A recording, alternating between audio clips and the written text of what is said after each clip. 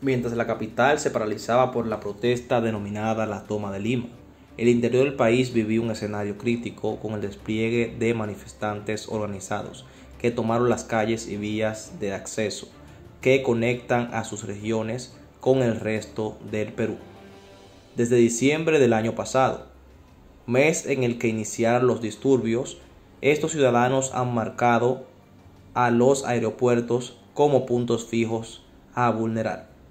Han sido reiteradas veces en que se han acercado a esas instalaciones con palos, piedras, tablas y otros artículos para enfrentarse a las fuerzas del orden. Esta situación ha causado que las aerolíneas sigan suspendiendo sus salidas, dejando un gran número de turistas varados, mientras se espera que la calma regrese y los aeropuertos puedan abrir sus puertas con normalidad. De manera simultánea se reportó una cadena de ataques a los aeropuertos de Arequipa, Cusco y Juliaca en Puno. Este panorama se evidenció desde tempranas horas del jueves 19 de enero, fecha en la que se inició la denominada Toma de Lima o Marcha de los Cuatro Suyos. En la Ciudad Blanca, más de 2.000 personas intentaron ingresar al Aeropuerto Internacional Alfredo Rodríguez Payón, causando destrozos en el perímetro del terminal aéreo. En horas de la tarde, manifestantes atacaron a miembros de la Policía Nacional del Perú al intentar violentar el Aeropuerto Internacional Inca Manco Cápac, ubicado en Juliaca, Puno. Durante el enfrentamiento, seis policías terminaron lesionados. Uno de ellos recibió el impacto de un explosivo. El aeropuerto Alejandro Velasco Astete en el Cusco fue otro blanco de los vándalos, quienes tomaron todo lo que encontraban a su paso para atacar a los que resguardaban el establecimiento. Pese a los intentos, no pudieron concretar su cometido. Para el 20 de enero se informó que el aeropuerto de Cusco reanudaría sus operaciones tras varios días de tener sus labores suspendidas. Turistas nacionales y extranjeros se aproximaron para poder regresar a sus destinos de origen.